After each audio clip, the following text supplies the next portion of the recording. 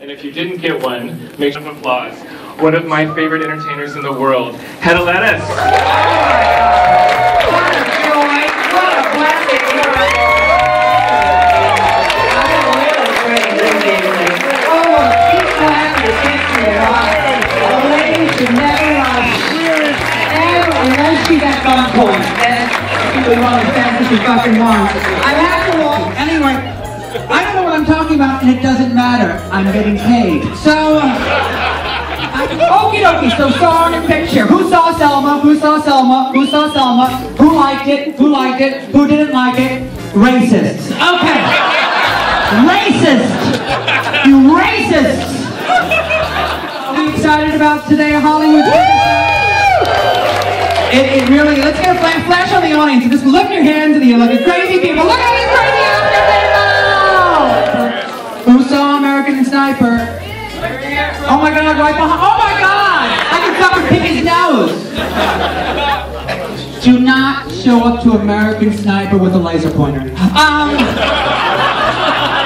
I scared the shit out of everyone. Now, aren't these seats just wonderful? I mean, we are the we are the luckiest people. I think of the entire world watching this Oscar presentation. Because if you were to watch this at home, you know how tedious and dull and repetitive. Oh, and just absolutely mind crushing. But when we're together as a collective, we can enjoy the insanity together and turn to one another and go, "Why did I leave the house for this?" okay, Who loved the Imitation Game?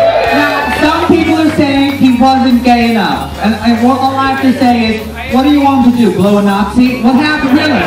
How fucking gay do you want this man to be? It was, I'm lightly tucked. Lightly tucked. I could not do a full tuck this evening because I will be sitting for three hours or so. So if you hear a, or something like that, I blew a tire. I blew a tire, and I, I don't want you pointing. It's never polite to point at a lady's testicles. It is never polite. If it happens to happen in a movie, like The Theory of Everything. Was that a comedy, or was I off base about that? I wasn't supposed to laugh, was I? It wasn't an SNL character I was watching. I'm a mean person, aren't I? And we'll get it, and then we'll start, and we're gonna have a great time. Aren't you? We're gonna have a great time. There's no choice. Gonna, there is no choice. I mean, we're gonna have a great time. We're gonna go down with the ship together. Really, I'm gonna have a beard by the time it's done. It's gonna be so long.